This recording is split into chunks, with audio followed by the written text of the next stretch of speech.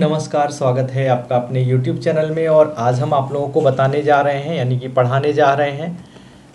SSC CGL set अ, 2020 का set है और एमबी पब्लिकेशन की बुक का सेट नंबर सिक्स जो कि आज आप हमारे साथ सॉल्व करने वाले हैं। चलिए आइए देखते हैं एमबी पब्लिकेशन की बुक को और मैं बता दूँ इसके पहले कि एमबी की जो बुक है वो प्रीवियस ईयर के क्वेश्चंस का कलेक्शन होती है। बहुत बेहतरीन अंदाज में आप लोगों को बुक्स जो है वो मैं यहाँ पर सॉल्व कराता हूँ। तो चलिए देखते हैं बुक को कैसे सॉल्व करेंगे हम। और एक एक क्वेश्चन को डिटेल में मैं बताता भी रहता हूँ। आइए, उसी की तरफ़ चलते हैं। अग्रसर होते हैं, अगर हम सही बात करें तो शुद्ध हिंदी वाली बात करें तो। चलिए देखते हैं क्या होगा। क्वेश्चन नंबर वन दिया गया है कि select the most appropriate option to substitute the underlined segment in the given sentence. If no substitution is required, select no substitution required यानी कि सेंटेंस इंप्रूवमेंट का क्वेश्चन है और क्वेश्चन नंबर वन क्या दिया गया है? I asked Rahul that how far was his office from his home ठीक है? सबसे पहले हम ये देखेंगे कि आई आस्क्ड दिया गया है और राहुल दिया गया है। जब भी हम आई आस्क्ड राहुल यानी कि सब्जेक्ट देखें आस्क्ड देखें ऑब्जेक्ट देखें तो दिमाग में ज़रूर ये क्लिक होनी चाहिए बात कि जब भी हम डायरेक्ट से इनडायरेक्ट बनाते हैं तो सेट टू को आस्क्ड में चेंज करते हैं। जब भी हम डायरेक्ट को इनडायरेक्ट में बनाते हैं तो सेट टू को किसमें चेंज करते हैं? आस्क्ड में चेंज करते हैं तो ये सेट टू को आस्क्ड में चेंज किया गया है। हालाँकि जो हमें देखना है सेंटेंस इंप्रूवमेंट के क्वेश्चन को देखना है, फिर इससे जो एडिशनल चीज़ें जो हमें सीखनी है, वो सीखेंगे। सबसे पहले हम देखेंगे गलती क्या है इसमें। गलती ये है कि जब भी डायरेक्ट से इनडायरेक्ट बनाते हैं तो सेट टू को आस्कड में चेंज किया, और हाउ फार यहाँ पे क्वेश्चन वर्ड है, कितना दूर? हाउ फार यहाँ पे क्या है? क्वेश्चन वर्ड है। और आप ध्यान से देखिएगा कि क्वेश्चन वर्ड अगर सेंटेंस में आ जाता है तो हम दैट नहीं लगाते हैं। उसी क्वेश्चन वर्ड को कंजंक्शन के तौर पे इनडायरेक्ट सेंटेंस में यूज़ कर लिया जाता है। ठीक है? तो सबसे बड़ी बात तो यहाँ पे होना क्या चाहिए? यहाँ पे होना चाहिए हाउ फार यहाँ होना क्या चाहिए? हाउ फार दैट नहीं लगना चाहिए। ऑप्शन नंबर ए में दैट लगा दिया गया है यहाँ पर। इसलिए ये गलत हो गया क्योंकि हाउ फार भी एक प्रकार का कंजंक्शन और दैट एक प्रकार का कंजंक्शन दोनों एक साथ यूज़ नहीं होंगे। ऑप्शन नंबर बी देन लगा दिया गया है, ये भी गलत हो गया। ऑप्शन नंबर सी जो है, वो यहाँ पर सही होगा क्योंकि यहाँ पे हाउ फॉर सब्जेक्ट है, वो हाउ फॉर कंजंक्शन हो गया यहाँ पे हिज ऑफ़िस हो गया क्या? सब्जेक्ट और वाज हो गई वर्ब इसको दो तरीके से सॉल्व कर सकते हैं। दूसरा तरीका मैं बताऊँ अगर तो वाज हुआ है ना तो वाज किसके हिसाब से हुआ होगा? इज़ को वाज में चेंज किया गया होगा। तो क्या होगा यहाँ पर? इज़ को वाज में चेंज किया गया होगा, है ना? यहाँ पर एक चीज़ सॉरी देखिएगा दैट एक प्रकार का सबॉर्डिनेट कंजंक्शन है। और सबॉर्डिनेट कंजंक्शन के का एक रूल होता है दैट का मतलब जब की होता है तो वो सबॉर्डिनेट कंजंक्शन होता है। सबॉर्डिनेट कंजंक्शन का क्या रूल होता है? कि सबॉर्डिनेट कंजंक्शन के पहले का सेंटेंस यदि पास्ट में है तो बाद वाला सेंटेंस भी पास्ट में होगा। ठीक है? तो इसलिए ऑप्शन नंबर एक में इज़ दिया गया था, ये गलत हो गया। ठीक है? देन दिया गया है, वैसे ही गलत है। सब मिला करके दैट नहीं होगा। हाउ फॉर एक प्रकार का कंजंक्शन का भी काम करेगा। ठीक है? जब भी डायरेक्ट से इनडायरेक्ट बनाते हैं तो क्वेश्चन वर्ड ही कंजंक्शन का काम करने लगता है। अगर सेंटेंस में क्वेश्चन वर्ड दिया गया है तो इस हिसाब से ऑप्शन नंबर सी जो है, वो सही आंसर होगा। ठीक है? कुछ एक्स्ट्रा चीज़ें जो हमें देखनी है जो एस के एग्ज़ाम में पूछी गई हैं, वो पूछा गया है फार फर्दर फर्दरेस्ट फार ये फार जो है, वो एडजेक्टिव की एक प्रकार की डिग्री होती है और वो है पॉजिटिव डिग्री ठीक है? एडजेक्टिव की पॉजिटिव डिग्री होती है फार कंपेरेटिव डिग्री होती है फर्दर और फर्दरेस्ट तो इसमें आपके एसएससी में क्वेश्चन पूछा गया, वो मैं यहाँ पे आपको बताऊँगा। एक मिनट भाई। देखिएगा। फार ये क्या है? फार जो है, वो एक प्रकार का क्या? पॉजिटिव डिग्री का एडजेक्टिव है। फार्दर कंपेरेटिव डिग्री का एडजेक्टिव हो गया और फार्दरेस्ट सुपरलेटिव डिग्री का एडजेक्टिव हो गया। ठीक है? फार्दर फार्दरेस्ट ठीक है? अच्छा एक होता है फार इसकी कंपेरेटिव डिग्री फर्दर होती है। ठीक है? और सुपरलेटिव डिग्री फर्दरेस्ट होती है। ठीक? फार फर्दर फर्दरेस्ट होती है। अब एक चीज़ देखनी है यहाँ पर। ध्यान दीजिएगा। ये जो एफ़ ए आर फार्दर है और एफ़ यू आर फार्दर है, इसमें अंतर होता है। ये जो एफ़ ए आर फार्दर है, इसका मतलब होता है दूरी में आगे। इसका मतलब होता है दूरी में आगे। दूरी में अगर कोई ज़्यादा दूर है तो हम यूज़ करते हैं फार्दर का। ठीक है? और अगर वो डिस्टेंस जो अगर क्रम में आगे की बात की जाए तो हम फर्दर का यूज़ करते हैं। ठीक है? जैसे अगर हम कोई कॉपी लिया, लिए हैं हम, ये देखिए, और इसमें हमने एक पेज पलटा, और हमने क्या कहा? फर्दर पेज यानी कि F U R T H E R any further question कोई अगला क्वेश्चन आपके पास है? तो अगर हम क्रम की बात करें तो हम फर्दर का यूज़ करते हैं।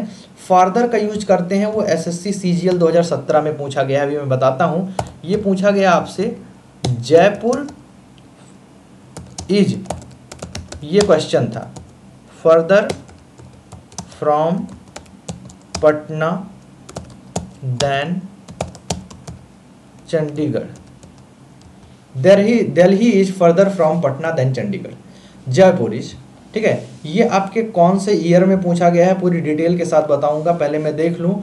जयपुर जो है फर्दर फ्रॉम यहाँ दूरी की बात कर रहा है तो यहाँ फर्दर नहीं होगा। एफ़ यू आर की जगह हम अगर एफ़ ए आर कर दें तो ये क्वेश्चन सही हो जाएगा। अब ये आप पूछोगे कि भाई, ये क्यों बता रहे हो? आप ये वाला एग्ज़ाम्पल ही क्यों दिया आपने? तो मेरे भाई, मेरे दोस्त, मैंने ये एग्ज़ाम्पल इसलिए दिया क्योंकि ये जो फर्दर है, वो पूछा गया है आपका S S C G L दो हज़ार सत्रह में। तो आप सी जी एल की, स्टैनो की सी एच एस एल की जो भी तैयारी कर रहे हों S S C C G L दो हज़ार सत्रह एम बी पब्लिकेशन की बुक ओपन कीजिए। सेट नंबर नाइन ओपन कीजिएगा। Question number two set number nine में आपको क्वेश्चन नंबर टू मिल जाएगा। Jaipur is further from Patna than Chandigarh. यहाँ पे यफ ए आर की जगह एरर मान लिया था। यफ यू आर दे करके एरर पूछ लिया था। तो आप जानेंगे कि यहाँ पर दूरी की बात कर रहा है जयपुर, पटना, चंडीगढ़ दूरी की बात कर रहा है और हम फार्दर का यूज़ करेंगे, ना कि फर्दर का यूज़ करेंगे। ये क्वेश्चन पूछा गया। तो आपका हमसे पढ़ने से एक ये बहुत बड़ा फ़ायदा होगा कि आपको मैं ऐसे याद दिलाता रहूँगा कि ये क्वेश्चन यहाँ पूछा गया है। एक क्वेश्चन का सिर्फ़ आंसर बता करके आगे बढ़ने वाला काम मेरा नहीं है। ठीक है ना? चलिए, आगे देखते हैं। आगे हमें क्या देखना है? हाँ तो आप लोग इस तरह से ये क्वेश्चन समझ में आ गया कैसे करना है हमें फर्दर फार्दरेस्ट और फार अगर कंपेरेटिव अच्छा ये चीज़ें हो गई। नेक्स्ट क्वेश्चन की तरफ़ चलते हैं। ठीक है? और नेक्स्ट क्वेश्चन क्या है? नेक्स्ट क्वेश्चन से पहले मैं बता दूँ कि आप लोग एग्ज़ाम की तैयारी बेहतरीन अंदाज में करते रहें, क्योंकि एग्ज़ाम है, आप लोगों का 2023 में आपको सिलेक्शन लेना है, आपने अपने आप को, अपने आप से दृढ़ निश्चय किया होगा कि मुझे सिलेक्शन लेना है तो आप सिलेक्शन लेने के लिए पढ़ाई कंटिन्यू करें प्रीवियस ईयर क्वेश्चन पेपर ज़्यादा सॉल्व करें, क्योंकि यहाँ से आपके जो क्वेश्चन सही होने की पॉसिबिलिटी है, वो बढ़ेगी प्रोबेबिलिटी है, वो बढ़ेगी। क्यों बढ़ेगी? क्योंकि धीरे धीरे आप जब प्रीवियस प्रीवियस ईयर क्वेश्चंस लगाएँगे तो अपने आप एग्ज़ाम में हो वैसे ही क्वेश्चन पूछे जाते हैं तो वो एक आइडिया हो जाता है, ठीक है? मम्मी पापा का अपने ध्यान रखिए। ध्यान रखने का मतलब क्या है कि उनका ख्याल रख करके आप पढ़ाई कीजिए। एक मैं बात आपको बताना चाहूँगा, चोट लगे और आँखों में पानी भर लूँ, इतना वक्त कहाँ है? चोट लगे और आँखों में पानी भर लूँ, इतना वक्त कहाँ है? किसी पल, किसी पर दिल खोल कर मर लूँ, इतना वक्त कहाँ है? अभी तो माँ बाप का एक भी सपना पूरा नहीं हुआ है। तुम कहती हो रात भर बातें कर लूँ, इतना वक्त कहाँ है? ठीक है? तो बस बातें नहीं करनी है रात में। आपको रात में हो या दिन में हो, पढ़ाई करनी है। तो आइए देखते हैं दूसरे क्वेश्चन की तरफ़। बढ़ते हैं। दूसरा क्वेश्चन क्या है यहाँ पर? देखिएगा। दिया गया है माई न्यू ईयर्स क्या? माई न्यू ईयर्स डैश मेरे नए साल का क्या is to think positive always? मेरे न्यू, नए साल में हमने ऐसा क्या किया है? क्या चीज़ मैं मैं करने जा रहा हूँ? टू थिंक पॉजिटिव मतलब पॉजिटिव सोचते रहने का, हमेशा। रेपिटेशन, आप दोहरा रहे हैं कि हम पॉजिटिव सोचेंगे पॉजिटिव सोचेंगे, रेपिटेशन। रिजोल्यूशन, आपने दृढ़ निश्चय किया है। मेरे न्यू ईयर का मैंने एक दृढ़ निश्चय किया है। नए साल में एक अपने आप से वादा किया है। ठीक है? अपने आप से खुद से वादा किया है कि मैं पॉजिटिव सोचूँगा, पॉजिटिव रहूँगा, पॉजिटिव लोगों के साथ रहूँगा। ठीक है? तो एक तरीके का रिजोल्यूशन होगा। कन्फेशन का मतलब पता है क्या होता है भाई? कन्फेस का करने का मतलब कि आपने किस, कोई क्राइम कर दिया उसको कबूल कर रहे हैं। ठीक है? तो नए साल में आप क्राइम कबूल नहीं करने जाओगे। आशा करते हैं कि हमारे सब्सक्राइबर जितने हैं, वो बहुत अच्छे हैं। वो इन सब मामलों में इन्वॉल्व नहीं होते हैं। ठीक है? तो यहाँ पे कन्फेस नहीं होगा कन्फेशन का मतलब एक ऐसा स्टेटमेंट जिसमें आप, आप क्राइम को कबूल कर रहे हैं। ठीक है? कन्फेस का मतलब किसी अपराध को स्वीकार करना। है ना? सेलिब्रेशन सेलिब्रेट करते हैं। न्यू ईयर सेलिब्रेट किया होगा किसी का बर्थडे सेलिब्रेट किया होगा वैलेंटाइन डे सेलिब्रेट किया होगा। ब्ला ब्ला ब्ला अलग अलग चीज़ें हैं। ठीक है ना?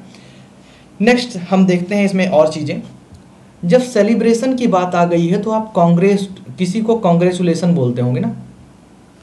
तो उससे रिलेटेड कुछ एग्ज़ाम में पूछे जाते हैं, कुछ बातें पूछी जाती हैं। कांग्रेचुलेसन के साथ कौन सा प्रीपोजिशन लगता है? कॉन्ग्रेचुलेसन समबडी ऑन समथिंग होता है। किसी को किसी चीज़ के लिए बधाई देना कि बधाई हो आपकी जॉब लग गई है, बधाई हो आप पापा बन गए हैं, बधाई हो आप फला, कोई भी चीज़, बधाई हो आपकी जॉब लग गई है, सबसे बड़ी बात तो यही है अभी। आप लोगों के लिए जॉब लगने वाली, ठीक है? तो कॉन्ग्रेचुलेट कर रहे हैं आप कॉन्ग्रेचुलेट समबडी कॉन्ग्रेचुलेट होगा यहाँ पे sorry congratulate somebody on something congratulate somebody on something होता है, ठीक है ना? न्यू ईयर की बात आई तो मैंने बता दिया वहाँ पर। तो आपको हर जगह ज्ञान की बातें मिलेंगी ज़रूर, ठीक है? इस तरीके से। अच्छा थिंक पॉजिटिव ऑलवेज आ गया ना तो मैं थिंक से रिलेटेड कुछ चीज़ें बताने जा रहा हूँ आप लोगों को। देखिएगा। एक होता है थिंक बैक टू एक थिंक बैक टू और इसी का अपोजिट होता है एक थिंक अहेड टू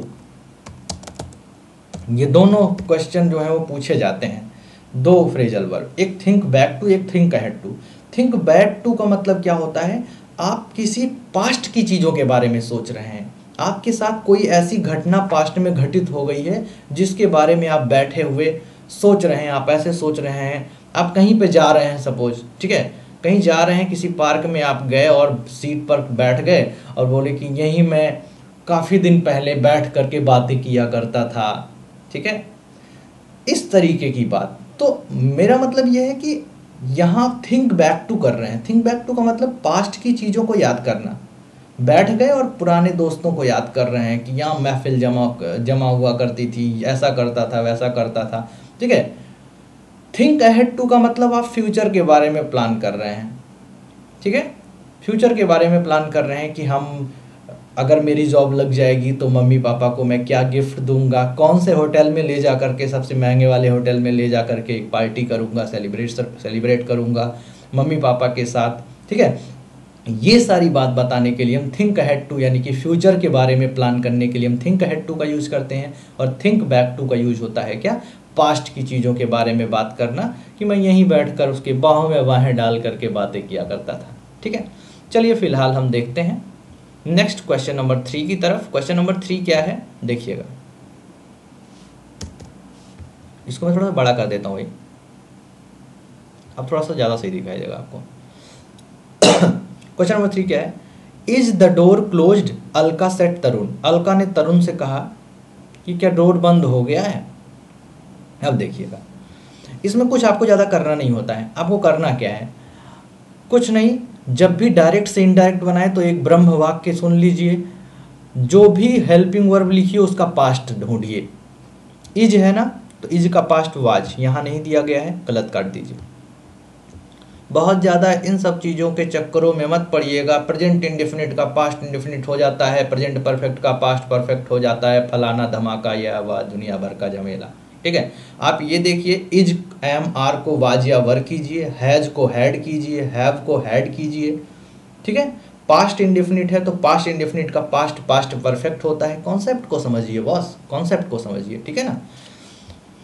तो देखिए, यहाँ पर तो क्या हो जाएगा? इज़ द डोर क्लोज तो इज़ को देखिए, वाज कहाँ लिखा गया है? वाज तो बी में भी नहीं लिखा गया कैंसिल हो गया।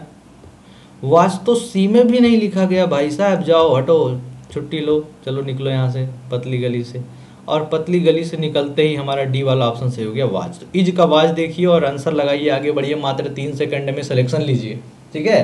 तीन सेकंड में आपका ऑप्शन सही होगा। तीन सेकंड भी नहीं लगे, इज़ देखा।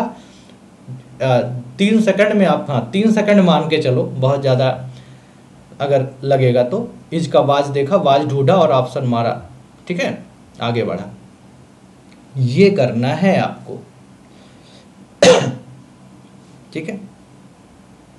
आगे देखते हैं। नेक्स्ट अगला क्या क्वेश्चन दिया गया है? अगला क्वेश्चन दिया गया है। क्वेश्चन नंबर फोर की बात कर रहे हैं हम। क्वेश्चन नंबर फोर मैं बताने जा रहा हूँ। A place in a large institution for care of those who are ill एक ऐसी जगह जहाँ उन लोगों की देखभाल कर परवाह की जाती है, खास खया, खासा ख्याल रखा जाता है। जो बीमार हैं, जो बीमार हैं, उनका ख्याल रखा जाता है, वो ऐसी जगह कौन सी है? तो मैं एक बात बता दूँ कि हैंगर, हॉस्टल, ठीक है, इन्फर्मरी और क्या? डॉर्मेटरी।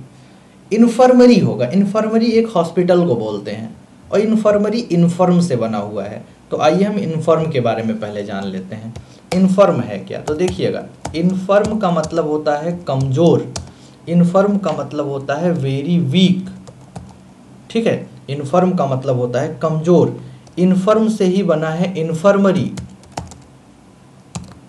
जहाँ कमज़ोर लोगों को, बुढ़े लोगों को, जवान लोग भी कमज़ोर हो सकते हैं, बुढ़े लोग भी कमज़ोर हो सकते हैं, ठीक है? बुढ़े लोग बुढ़ापे की वजह से कमज़ोर हो सकते हैं, जवान लोग अपनी बीमारी की वजह से कमज़ोर हो सकते हैं, ठीक?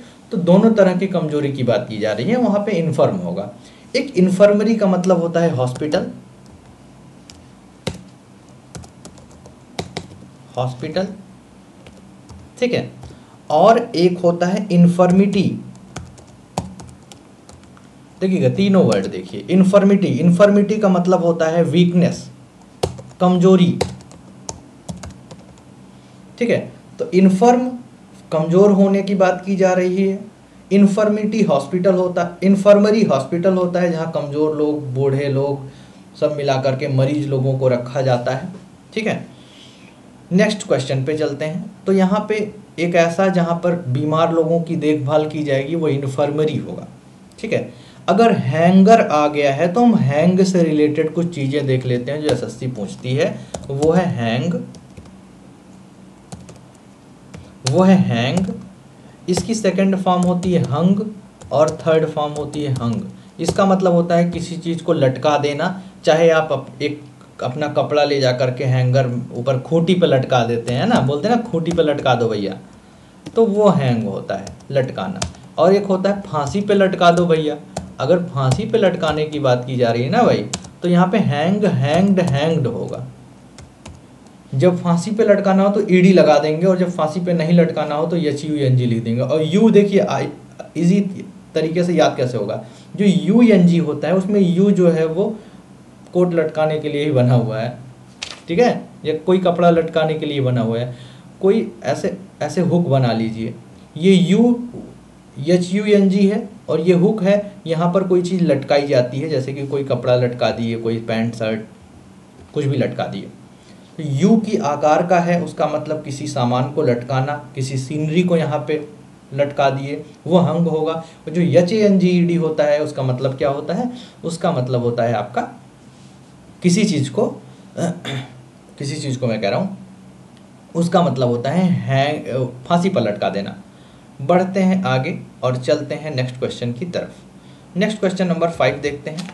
वीडियो बड़ी होती है एमबी की, बस, लेकिन आप अगर लगातार बने रहेंगे तो आप नॉलेज नॉलेजवान हो जाएँगे, है ना? Help the needy people passive voice बनाना है।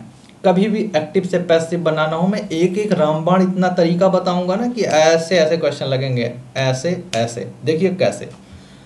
हेल्प द नीडी पीपुल यहाँ क्या लिखा हुआ हेल्प द नीडी पीपुल इसमें वर्ब क्या है? पैसिव बनाना है ना तो जब भी पैसिव बनाना हो तो आप ध्यान रखिए पैसिव वॉइस का मतलब ही होता है बी वर्ब बी और प्लस वर्ब की थर्ड फॉर्म इसी को पैसिव बोलते हैं। यहाँ हेल्पिंग सिर्फ़ वर्ब देखिए और जो वर्ब हो, उसको बी प्लस वर्ब की थर्ड फॉर्म में चेंज कर दीजिए। हेल्प है ना? तो हेल्प के लिखिए, लिए लिखिए बी और हेल्प की थर्ड फॉर्म क्या होती है? हेल्प्ड तो बी हेल्प्ड देखिए कहाँ लिखा है। बहुत ज़्यादा दिमाग मत लगाइए, दिमाग खर्चा कहीं और कीजिए, ठीक है? सिर्फ़ इंजॉय करते जाइए और सवाल को लगाते जाइए। हेल्प को बी हेल्प्ड लिखिए। बी हेल्प्ड कहाँ दिया है? पहले वाले में हेल्पिंग दे दिया, चलो हटो फुट लो, अदर अलग। बी हेल्प्ड यहाँ दिया है बी हेल्प्ड यही सही हो जाएगा। बीन हेल्प्ड दे दिया ना? गलत हो गया। हम तो बी हेल्प्ड की तलाश में थे और जिसकी तलाश में थे, वही हमें मिल गई। वही हमें मिल गया और वो हम तलाश कर रहे थे बी हेल्प की। Be help option number B में दिया गया है। क्वेश्चन नंबर नेक्स्ट की तरफ़ बढ़ते हैं। ठीक है? क्वेश्चन नंबर नेक्स्ट देखते हैं क्या है। लेट की, लेट का मतलब होता है किसी चीज़ को अनुमति देना। लेट एक प्रकार की वर्ब होती है। ठीक है? कुछ वर्ड ऐसे होते हैं जिनकी तीनों फॉर्म सेम होती है। वो भी मैं देख लेता हूँ, यहाँ पे मैं बता ही देता हूँ। देखिए लेट की तीनों फॉर्म सेम होती है। लेट लेट और लेट होता है। ठीक है? सेट की तीनों फॉर्म सेम होती है। सेट सेट सेट होता है। लाइफ सेट है। है ना?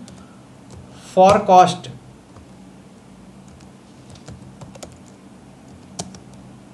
एक मिनट। हाँ। फॉरकास्ट जी हाँ। फॉरकास्ट टेलीकास्ट और कॉस्ट इन तीनों की तीनों फॉर्म सेम होती है। ठीक है? एक है तीनों फॉर्म सेम स्प्रेड की देख लीजिए। स्प्रेड की भी तीनों फॉर्म सेम होती है।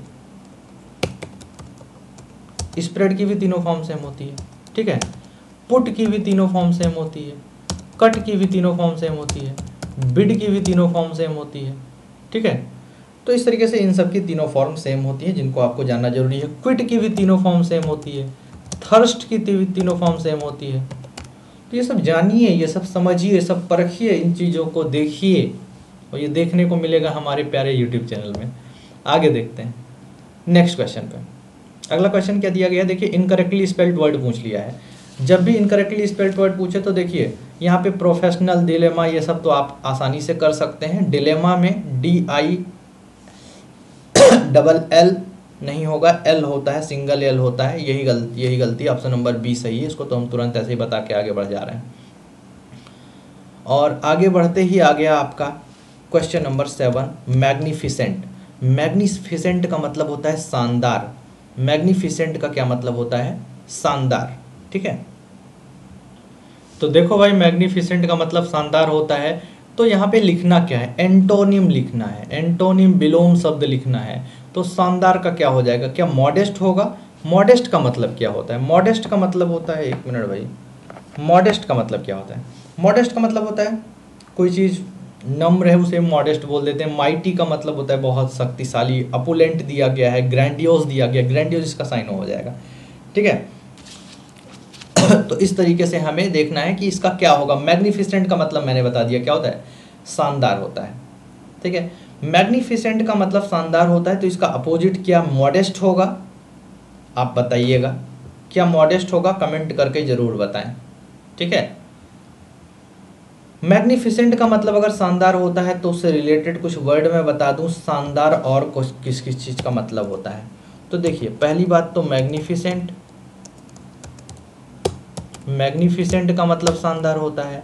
दूसरा, और किसका मतलब शानदार होता है मेरे भाई? और मतलब होता है शानदार एक्स की साइड। ठीक है स्टूपेंडस। इसका मतलब शानदार होता है। स्टूपेंडस का मतलब शानदार होता है। स्प्लेंडेड। इसका मतलब शानदार होता है। याद कैसे करेंगे? बहुत आसान तरीका है। एक्स की साइट आपके एक्स की साइट कैसी थी? बहुत ज़्यादा शानदार थी, बहुत अच्छी एक्स थी आपकी, जो छोड़ करके आपको चली गई। ठीक है? आप उसके बारे में थिंक हेड टू करते थे, उसके बारे में फ्यूचर के प्लान बनाते थे, बच्चों के नाम सोच लेते थे, उसके बाद भी छोड़ के चली गई। तो वो एक्स की साइड एक्स की साइड का मतलब शानदार, ठीक है? थिंक अहेड टू का मतलब फ्यूचर के बारे में प्लान करना। स्टूपेंडस एक स्टूडेंट ने पेन दिया दस रुपए का। Stu stu stu means student ने पी एन पेन पेन दिया डी ओ यू एस दस रुपए का। याद कर सकते हैं। स्टूपेंडस का मतलब एक स्टूडेंट ने दस रुपये का एक पेन दिया और वो था बहुत ज़्यादा शानदार। स्प्लेंडेड स्प्लेंडर, जो बाइक है, वो चलती है, बहुत ज़्यादा शानदार। इस तरीके से याद कीजिए एक्स की साइट आपकी बहुत ज़्यादा शानदार थी। क्या बात है भाई। क्या बात है सर, क्या बात है सर, क्या बात है सर। आगे बढ़ते हैं। नेक्स्ट देखते हैं। अगला क्वेश्चन देख लेते हैं। देखिएगा स्लैक दिया गया। स्लैक का मतलब लापरवाह होता है। लापरवाह। कीन कीन का मतलब उत्सुक। कीन के साथ हम ऑन प्रीपोजिशन का यूज़ करते हैं। ठीक है, आज प्रीपोजिशन बहुत बेहतरीन तरीके से बताएँगे हम, आगे मिलने वाला है। कीन का मत, कीन के साथ ऑन प्रीपोजिशन का यूज़ करते हैं। यदि स्लैक का साइनो लिखना है स्लैक का मतलब लापरवाह होता है तो इसका हो जाएगा केयरलेस केयरलेस है ना? केयरलेस का मतलब लापरवाह। लिवली लिवली का मतलब एकदम सजीव, जीवंत। ठीक है? उसके लिए लिवली का यूज़ करेंगे। हम देख लेते हैं कुछ चीज़ें। इससे रिलेटेड कीन ऑन का मतलब उत्सुक होना, किसी चीज़ के बारे में आप उत्सुक हैं कि कोई चीज़ अच्छा होने वाला है तो उत्सुक होना कीन ऑन होता है। ठीक है? हाँ तो चलिए पहले हम यहाँ देख लें क्या बताने वाले थे, मैं भूल गया। हाँ केयरलेस हो गया। ना केयर से रिलेटेड मैं कुछ चीज़ें बता दूँ आप लोगों को यहाँ से। एक मिनट, भैया। केयर केयर ठीक है? केयर फॉर या अबाउट होता है। ये C G L S S C दो हज़ार सोलह में पूछा गया। केयर अबाउट या फॉर का मतलब किसी की परवाह करना। केयर फ्री ये आपका सी जी एल में पूछा गया ये भी।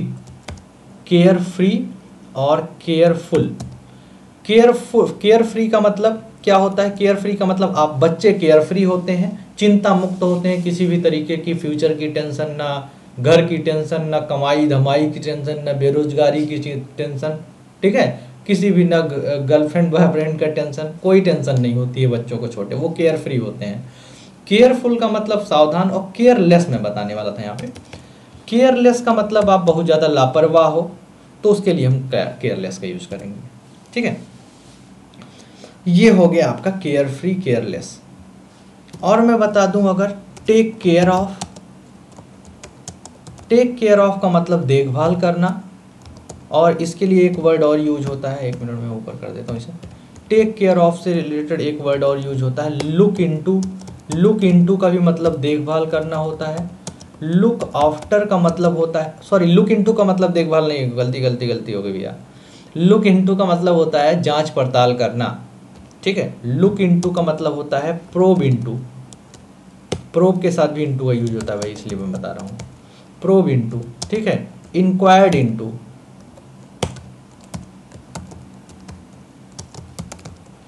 लुक आफ्टर का मतलब होता है किसी की देखभाल करना। ठीक है? लुक एट का मतलब होता है किसी को देखना। है ना?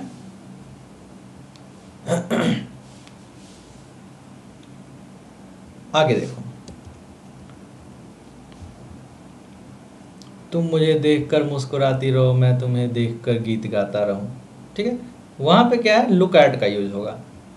आगे देखते हैं we dash marks of the students on different subjects and compare their performance for the year हम स्टूडेंट्स के मार्क्स को क्या करेंगे? क्वेश्चन मार्क्स से सवाल पूछ लेंगे मार्क्स का।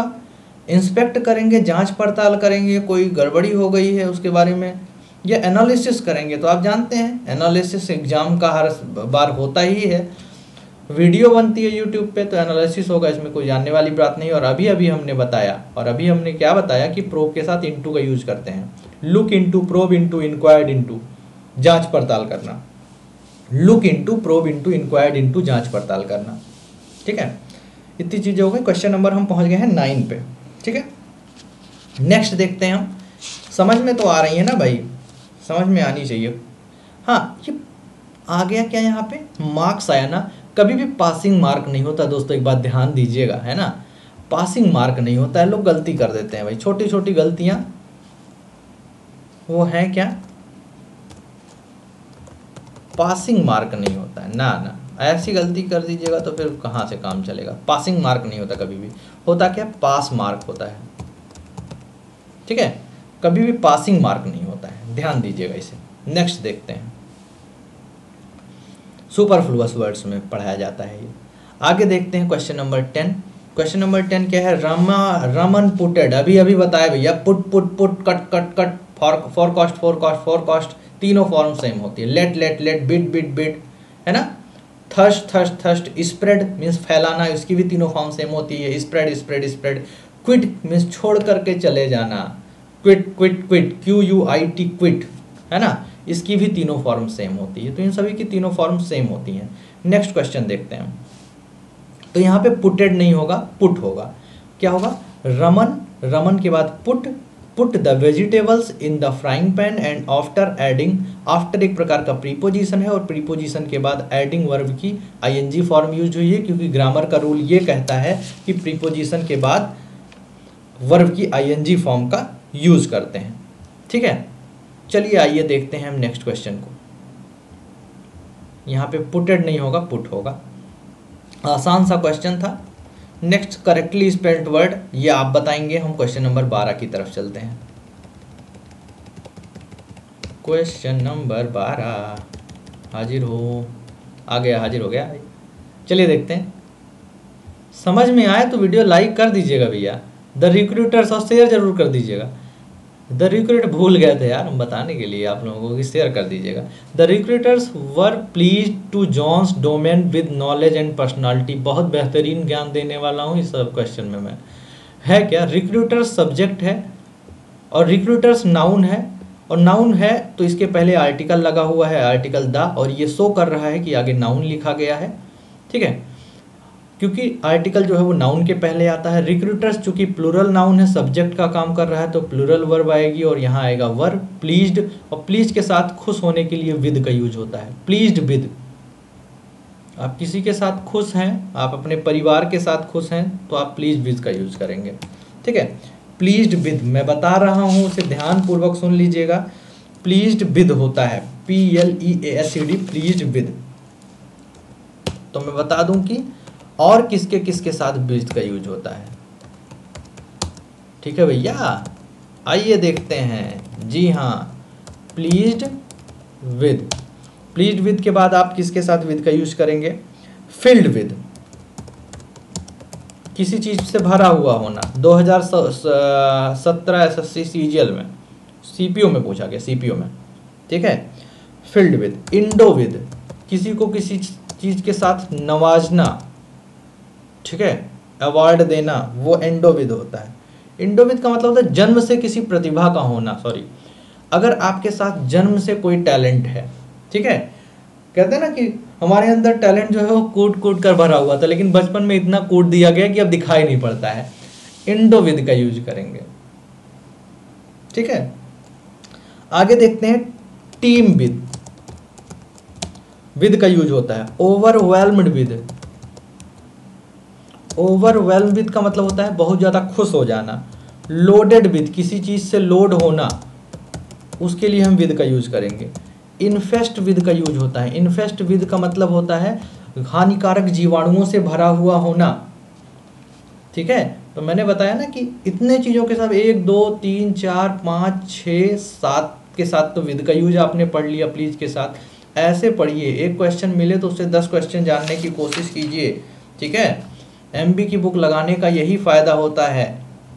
तो समझ में आ गया होगा आप लोगों को, ठीक है? Domain of knowledge and personality knowledge एक प्रकार का अनकाउंटेबल नाउन होता है, ध्यान दीजिएगा। नॉलेज एक प्रकार का अनकाउंटेबल नाउन होता है। एक बार एसएससी ने रिसर्च के बारे में पूछ लिया था तो रिसर्च भी एक प्रकार का अनकाउंटेबल नाउन होता है। रिसर्च लिख दिया था, गलत हो गया था। भैया 2018 में एसएससी में पूछ लिया था। शायद स्टेनो में पूछा गया था, स्टेनोग्राफर में। ठीक है? इसी के साथ हम एट द एलेवंथ आवर अंतिम क्षण पर आप किसी से विदा ले रहे हैं। अंतिम क्षण पर एट द एलेवंथ आवर वो मन बना चुके थे दूर जाने का। हमें लगा हमें मनाना नहीं आता। ठीक है?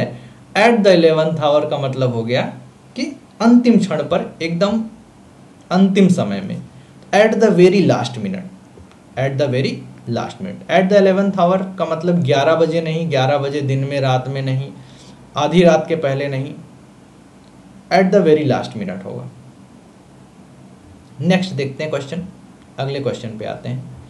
अगला क्वेश्चन कहाँ है? नेक्स्ट क्वेश्चन देख लेते हैं। क्वेश्चन नंबर फोर्टीन देखिएगा।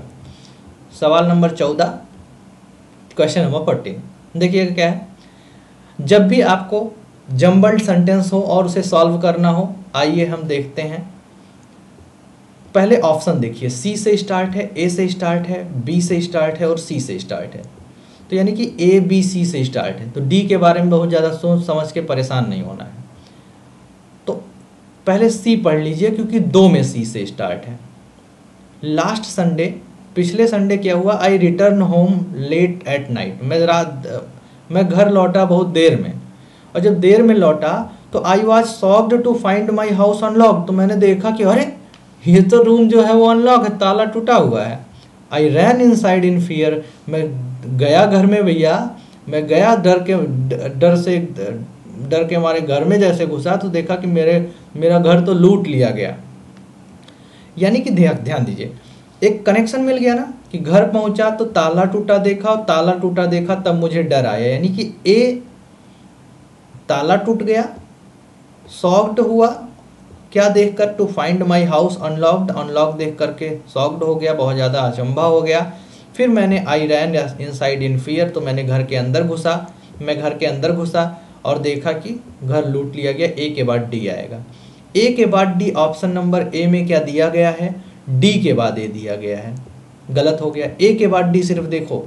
ए के बाद डी आएगा, ये अलग अलग दे दिया गया। ए के बाद डी एक छोर पे डी एक छोर पे हो गया। ए के बाद डी यहाँ भी नहीं दिया गया। सिर्फ़ ए के बाद डी डी में दिया गया, सही हो गया। मुश्किल से एक मिनट का क्वेश्चन ऐसे लिंक करना है, किसी एक को पकड़ लेना है और लगाते चले जाना है। आगे देखते क्वेश्चन नंबर पंद्रह। पंद्रह क्या है देखिएगा? एडजस्ट एडजस्ट करना। बहुत बड़ी बात होती है लड़कियों के लिए कि मैके में जाओगी तो तुम्हें एडजस्ट करना पड़ेगा, है ना? एडजस्ट का मतलब होता है एडजस्ट करना adapt A D A P T adapt का मतलब होता है परिस्थितियों के अनुसार अन, अनुकूल अपने आप को ढालना और एडाप्ट के साथ हम टू प्रीपोजिशन का यूज़ करते हैं एसएससी में पूछा जाता है। हमने हज़ार बार बताया है। ठीक है? जितने लोग पहले वीडियो देख रहे हैं जो नए देख रहे हैं पुरानी वीडियो ज़रूर देख लें। आइए देखते हैं एडाप्ट एडजस्ट का मतलब एडॉप्ट साइनो पूछा गया था हो गया। हम कुछ एडॉप्ट से रिलेटेड बातें देखेंगे, जो मैं हर वीडियो में अपने बताता भी रहता हूँ, और आइए देखते हैं क्या हुआ, फिर से पढ़ लीजिए। है ना? एक होता है एडप्ट एडप्ट एडप्ट का मतलब होता है बहुत ज़्यादा निपुण होना। एडप्ट इन या एट किसी चीज़ में बहुत ज़्यादा आप निपुण हैं, बहुत ज़्यादा पारंगत हैं, उसके लिए हम एडप्ट का यूज़ करेंगे। Adopt A D A P T adopt का मतलब होता है परिस्थितियों के अनुकूल अपने आप को डालना। मैं एक ही एग्ज़ाम्पल देता हूँ। नई नवेली बहू जब घर में जाती है लड़कियाँ नई नवेली बहू बन करके जब जाती हैं तो उन्हें कहा जाता है कि आपको अपने ससुराल में परिस्थितियों के अनुसार अप, अपने आप को ढालना होगा। वहाँ हम एडाप्ट टू का यूज़ करते हैं। तो एक एडेप्ट होता है एक एडाप्ट होता है और एक होता है एडॉप्ट ये एडॉप्ट जो है वो गोद लेना होता है या किसी के विचार को फॉलो करना होता है। ठीक है? उसके लिए यूज़ करते हैं। फ़िलहाल हम देखते हैं आगे। क्वेश्चन नंबर सिक्सटीन क्या दिया गया है? ए ग्रुप ऑफ़ स्टार्स तारों का समूह कॉन्स्टलेशन होगा। कॉन्ग्रेगेशन का मतलब सभा होती है, और एस्ट्रोनॉमी आप लोग जानते हैं। एस्ट्रोनॉमी खगोल विज्ञान और एस्ट्रोलॉजी भविष्यवाणी वाला है। नेक्स्ट देखते हैं। एमंग इम्प्लाइड साइंस ये सेंटेंस इंप्रूवमेंट है। Among implied science medicine is no medicine is one which have given man some power over death सिर्फ़ अंडरलाइन वाले पार्ट को देखना है और क्वेश्चन को लगा देना है। लगा लीजिए, दिक्कत क्या है? विच एक प्रकार का रिलेटिव प्रोनाउन है, क्योंकि इसके बाद वर्ब आई है। विच एक प्रकार का कंजंक्शन होता, अगर इसके बाद सब्जेक्ट प्लस वर्ब आती। जब भी हु हुआ विच हुआ, इन सब के बाद, इनका मतलब निकले जो, और ये, इनके बाद वर्ब आ जाए तो ये रिलेटिव प्रोनाउन होता है। तो रिलेटिव प्रोनाउन के बाद आने वाली वर्ब किसके अकॉर्डिंग आती है? अपने एंटीसीडेंट के अकॉर्डिंग आती है। यानी कि वर्ब वन के अकॉर्डिंग आएगी। और वन मतलब सिंगुलर और सिंगुलर के लिए हम हैव का नहीं हैज़ का यूज़ करते ठीक है? तो देखते हैं हैज़ दिया गया है यहाँ पर। लेकिन पहले क्वेश्चन पर भी तो चर्चा करेंगे। ऐसे थोड़ी जाने देंगे। वन विच गेव पास्ट में दे दिया गया ना। लेकिन इसके पहले वाला जो सेंटेंस है, वो इज़ लिखा गया है। इसके पहले इज़ लिखा गया है और इज़ भी बता रहा है कि जो सेंटेंस चल रहा है ना भैया, वो प्रेजेंट प्रेजेंट टू प्रेजेंट चल रहा है। तो जब प्रेजेंट टू प्रेजेंट सेंटेंस चल रहा है तो पहले प्रेजेंट है तो बाद में प्रेजेंट रखो ना। पास्ट काहे कर रहे हो? पगला गए हो क्या? पास्ट नहीं करना है। गलत हो गया। नो सब्सिट्यूशन रिक्वायर्ड नहीं होगा। तो हैव नहीं होगा। वन के अकॉर्डिंग विच एक प्रकार का रिलेटिव प्रोनाउन है। रिलेटिव प्रोनाउन के बाद आने वाली वर्ब अपने एंटीस्टेंट के अकॉर्डिंग आती है और हैज़ ऑप्शन सही हो जाएगा। आर गलत हो जाएगा क्योंकि ये भी प्लूरल हो गया है। ठीक है? वन विच आर नहीं, आगे कुछ और होना चाहिए था सिंगुलर होना चाहिए था। हालाँकि होता तो भी गलत होता। A steam a storm in a tea cup एक मिनट। इसका मतलब हो जाएगा कि कोई छोटी सी बात है, उसमें हंगामा खड़ा कर देना। पीछे दिया गया है एम के ठीक है ना? तो लॉट ऑफ़ फस बहुत ज़्यादा हंगामा खड़ा कर देना। That will soon be forgotten जिसे बहुत जल्दी भुला दिया जाएगा। ठीक है? छोटी सी बात है उस पर बहुत ज़्यादा हंगामा खड़ा कर देना। डिसअरेंजिंग ने कटलरी चीज़ कटलरी को डिसअरेंज कर देना नहीं होगा स्टॉर्मिनेटी का। ए सडन स्टॉर्मिनेटी टाइम चार चार पीते टाइम स्टॉर्म आ गया, आधी आ गई, नहीं, एक ऐसा ऐसी बात जिसके लिए जो बहुत ज़्यादा इम्पोर्टेंट नहीं है, लेकिन फर्जी में उस बात को बढ़ाया जा रहे हैं। ठीक है? आगे देखते हैं। Jumbled sentence question number nineteen question number nineteen का आंसर आप लोग बताएँगे। इसे कमेंट करके बताइएगा भाई। अगर नहीं आएगा नेक्स्ट वीडियो में मैं पहले इसी को बताऊँगा। ठीक है?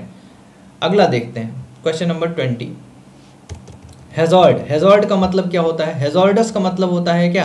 हेजॉर्डस का मतलब होता है खतरनाक। तो हेजॉर्ड मीन्स खतरनाक से रिलेटेड हो जाएगा। ध्यान दीजिएगा एंटो याद करना है सेफ्टी हो जाएगा इसका। रिस्क तो आप जानते हैं। रिस्क के बाद अगर वर्ब आती है ना तो वर्ब की आईएनजी फॉर्म यूज़ होती है। अगर रिस्क के बाद वर्ब आती है तो ग्रामर का रूल ये कहता है कि mind busy risk enjoy deny avoid postpone इन सब के बाद वर्ब की आईएनजी फॉर्म का यूज़ होता है। यदि वर्ब आती है तो। ठीक है? हेजॉर्ड का मतलब हो जाएगा बहुत ज़्यादा खतरनाक की बात की जा रही है और सेफ्टी हो जाएगा। यहाँ पे पेरिल का मतलब भी खतरनाक होता है। Perilous precarious dangerous perilous precarious dangerous hazardous हज़ार हज़ार रुपए के दस नोट आपको कोई दे दिया और हज़ार का नोट तो बंद हो गया तो खतरनाक हो गया ना भाई बात। याद करो, ऐसे याद करो, जो कभी भूले ना। अगले पे आते हैं। अगला क्या है? Question number twenty one question number twenty one से आ गया आपका क्या? क्वेश्चन नंबर ट्वेंटी वन से आ गया आपका वो क्लोज टेस्ट क्लोज टेस्ट में बहुत लोग परेशान रहते हैं भाई। ठीक है? तो क्लोज टेस्ट में परेशान मत रहिएगा आज से। यहाँ से क्लोज टेस्ट जब पढ़ाया जाएगा तो काफ़ी चीज़ें क्लियर हो जाएँगी। ठीक है? नेक्स्ट देखते हैं। एवरीथिंग इन भूटान भूटान में जो हर चीज़ है वो केमिकल फ्री है। ठीक है?